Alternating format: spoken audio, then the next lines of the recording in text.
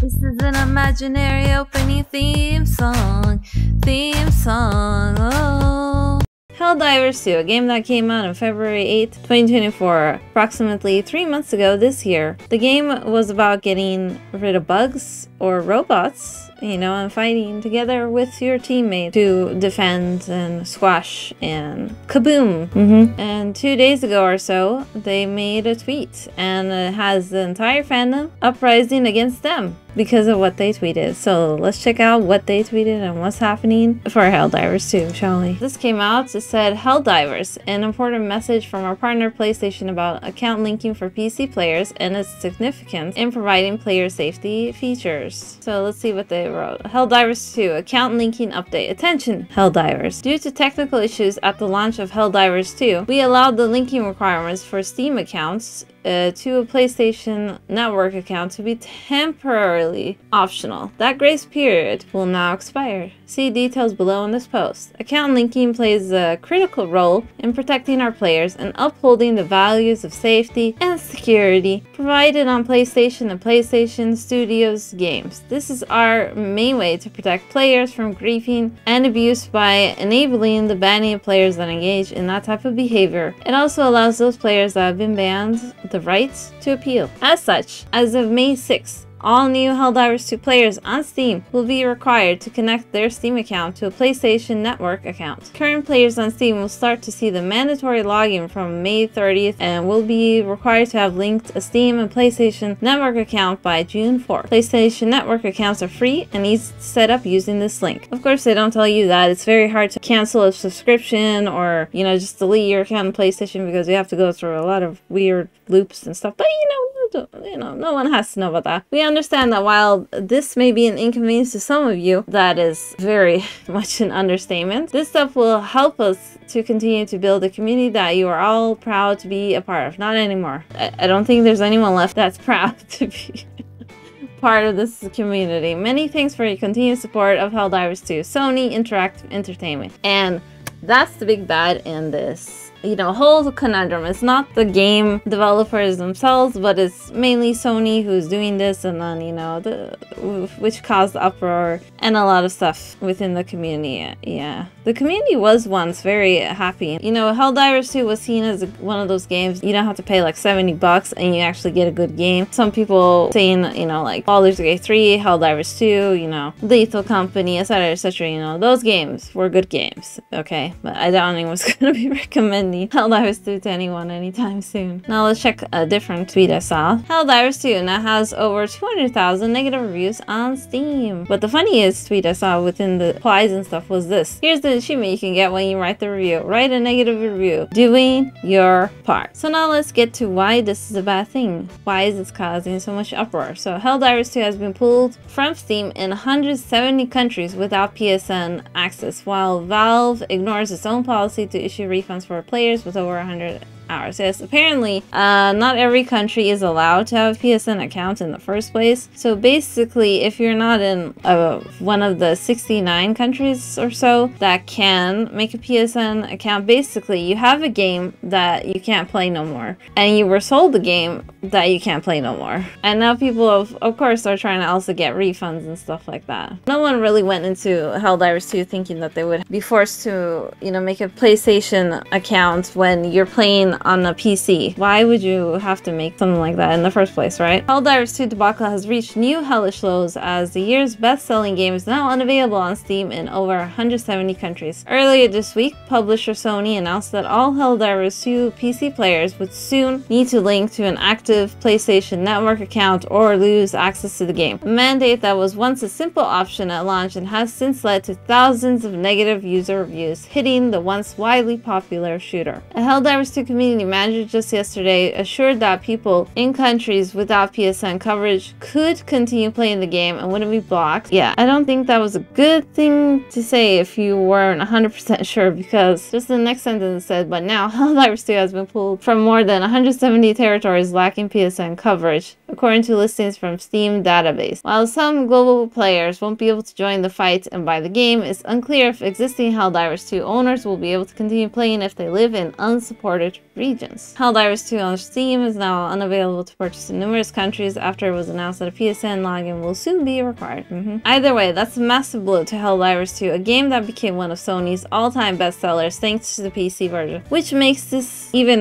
weirder that, you know, they would pull a stunt like this. Like, dude, you had a best-selling game. People were very hyped. They were all recommending this game to their friends. They were dragging their friends to help them fight against bugs and or robots, whichever one you preferred, really. And now you're doing this and making the game itself unavailable for people in so many countries. This is a huge loss. Like, why would you want to potentially have less actual customers for your game? That's crazy. Uh, and it raises questions about why the game was available in those territories to begin with, especially if the PS PSN mandate was always planned, as Sony said in its announcement. No. Who knows, right, Sony? Like, you, you would never sell people a game that they could not have access to because they're not a, a PSN uh, approved country, right? Right? You, you do know there are more than 69 countries in the world, right? Sony, right? Sony? Sony? Ignoring its own policies, uh, Steam stewards, uh, Valve, have also reportedly been issuing refunds to several longtime Helldivers that have logged into Super for Earth space for more than 100 hours. Steam policy normally doesn't allow for refunds if a player exceeds 2 hours in-game, but since the PSN requirement came months after launch, Valve rightly seems to be making an exception. A Helldivers 2 a developer recently reiterated that the PSN change came from Sony, not the talented team at Arrowhead Studios, so if you're going to be mad at someone, don't direct your anger at Arrowhead Studios. It's just very unfortunate that they don't have an actual say against what Sony does does with their the game that they made, which is very sad. You know, this is another reason why I think that sometimes you know, as a game developer, you, you do want your game to be played on as many platforms as you can by as many people as you can, in theory, right? But also, if you don't have any last sayings of what actually happens to your product, that might be a problem in the future. Also, PlayStation has a lot of games that don't need a PSN account to be played over PC as well because again like why would you have a PSN account if you're playing on PC? Don't use PlayStation in the first place. I mean not everyone has a PlayStation believe it or not like but it is what it is and the end of the day it's very sad to see this happen. So issuing refunds is probably the most effective route to getting a message across as opposed to shouting toxicity at devs. Sony also announced the mandate on a Friday and thus has yet to officially respond to the backlash that's escalated pretty wildly in just a few days. Sony at this point you really need to just just go like, okay, JK guys, we weren't serious. We won't force you to have a PSN access account. We weren't serious. Okay, I mean, an intern must have gotten our notes mixed up somehow in some way. We, we were never serious about that. that. Like, that's the only way to maybe save face. Just a little bit, Sony. In this article, it does say that Steam is issuing refunds to Helldivers 2 players, but also some people said that they didn't receive a refund, but also other people are suggesting that, you know, you try to ask for a refund more than once. Like, if you ask for like maybe at least two to three times, you might get an actual person to Uh, look at what you're asking for a refund and then they might issue it to you. Things like automated and stuff, so you have to get through the automated stuff. Normally you can only, you know, get a refund for a game if you have under two hours of playtime, but like Helldivers 2 was a massive community, okay guys? People easily had at least 100 hours put into them, just saying. So let's check out this other article about this situation, shall we? So it says Sony doubles down, removing Helldivers 2 from sale in 177 countries and territories that can't access PSN while Arrowhead CEO says, I don't have the final say, which is tragic because you are literally the game dev of this game, but you don't have the final say. This is why, guys, always remember if you are the one that's creating something, remember to like have the last say, have anything you need as a creator, and, and don't just give it all up for, you know, some quick money or something. Because then you'll be remembered as having over 211,000 negative Steam reviews and counting. Even as members of Helldivers Studio Arrowhead Games say that discussions around Sony's controversial PlayStation Network sign-in requirement for Helldivers 2 on PC are still ongoing, looks like the publisher is doubling down on the move, halting sales of the game in countries where it doesn't offer the service. I mean, they're trying to talk with Sony, but also who knows if they'll ever get a response for this. So, in theory, Helldivers 2 uh, was always supposed to require players to sign into the PlayStation Network in-game, but this was not required at launch due to network infrastructure limitations. Remember Helldivers 2 early uh, server woos? The thing is, these days, if a game needs servers to be played on, usually there's, there's always some kind of problem with the servers, like you can't access the servers, you can't play on the servers, you get keep getting kicked out of servers. Like, I don't think servers need to be this big of a problem, but apparently they do. Two days ago, Sony announced that it would begin enforcing that requirement in a month-long rollout. While merely and admittedly obvious inconvenience for most players, PC users in countries not covered by PSN might be locked out of the game entirely. Basically, you paid for a game now uh, that you are now locked out of because you can't even make an account in a thing that you don't want to make an account in in the first place. This simple fact seems to have taken even Sony by surprise with a fact from the publisher in the Helldivers 2 Discord seeming to direct players to set their PSN account to a country other than the one in which they live, a violation of Sony's terms of service. Of course, we would never say that. Psst, psst, no, no, no. Of course not, guys. Of course not. You know, law-abiding citizens, everyone. Yes, yes, yes, yes. I'm talking about you, Jim, in the back. Yeah, you too. Mm -hmm. I'm just joking. I'm not calling you out, Jim. Don't worry about it. Have a free cookie, Jim. Uh, speaking to the game's writing community yesterday, Helldivers 2 community manager Spitz framed uh, addressing this oversight as the developer's number one priority in discussions with Sony about the requirement. Uh, as shared by Steam DB early this morning, Helldivers 2 has been removed from sale on Steam in 177 countries and territories. Japan seems to be on the list as an outlier, with the game being replaced by a different version in the country. Yay, Japan, I suppose. Seemingly due to localization reasons. The rest, though, are all regions not eligible for PSN access. With this move seemingly in preparation for the worst case scenario of a rollout where players who can't sign up for the PlayStation Network are simply out of luck. The Steam uh, review riot against the move continues unabated with over uh, 211,000 negative recent Reviews bringing the former People's Champion of uh, 2024 to overall mixed status on the platform. Almost 130,000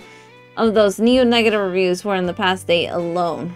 Like, people really band together. Eurogamer also reports that some players are even receiving refunds from Steam despite vastly exceeding the platform's usual two-hour window. And Helldivers 2 develop for Arrowhead might just be one of the biggest victims of the situation, having its trend-setting uh, Game of the Year shortlist labor of love gets proverbially drawn and quartered due to myopic Sony decision-making. We are taking we are talking solutions with Sony, especially in non-PSN countries. Arrowhead CEO, CEO Johan, is this the moment to tweet what you guys don't have phones? I'm serious. No, we are talking solutions with PlayStation, especially for non-PSN countries. Your voice has been heard and I am doing everything I can to speak for the community, but I don't have the final say. Uh, Sony has been holding his hand to Hasto for about three days now, all in the name of capturing new emails and use into its PSN ecosystem, even though so many people don't even have access to it. And while I'm just a simply simple country games journalist, the smart move would probably be to stop right about now. Uh, but I mean, you know, why stop when, yes, What's more, not making this game would take less effort. The game was released on Steam in around February, so it has been a few months and everything has been fine. People have been able to connect. So he ain't wrong about that. The thing is, they claim that people, I mean, this was always a plan, right? They, they literally said, this was always our plan, guys, you know, to have you uh, make a PSN account and, you know, give us your information. Yeah. And become new account owners. Yeah. But I honestly don't think people actually knew when they were purchasing the game that they were it was going to be enforced on them. Because if they did, like, it wouldn't make sense for people from 177 countries buy a game that they no longer have access to in the first place.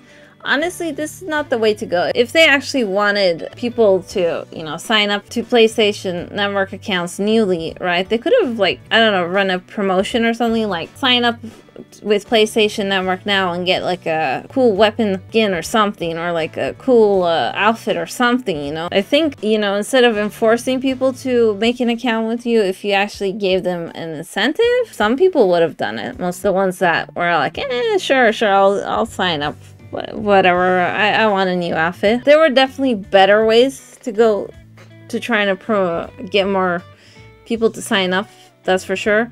This was not one of those ways, that's for sure. The, the voice of the people has been heard. I really don't think this was worth it, Sony. Like, there, I also checked, and there's over uh, 240,000, and I get a reviews, and I'll put a screenshot on the screen so you can see just how many there are right now. But yeah, like people really want you to know, don't get this game. Like this game was praised so hard and now they have completely turned the community against them. You know, even if it isn't really the developer's fault per se, I think people might think twice before they get a game from Arrowhead unless there's like a specific we will never ask you to make a PSN account somewhere when you purchase a game that was made from them you know, which is kind of sad. Like I said, the, the game that was once praised so highly is now in a very negative uh, light because of something that Sony wanted uh, them to do, which is, you know, not really fair, but unfortunately it is what it is. We'll see if Sony replies back and, like I said, say, oh, JK, guys, we actually don't want to enforce this on you. Uh, there was just a mix-up. Teehee. I mean, I doubt they would do that, but if they did, teehee to you as well, Sony. Teehee to you. Please subscribe and like this video if you did, and I'll see you in something else. Bye!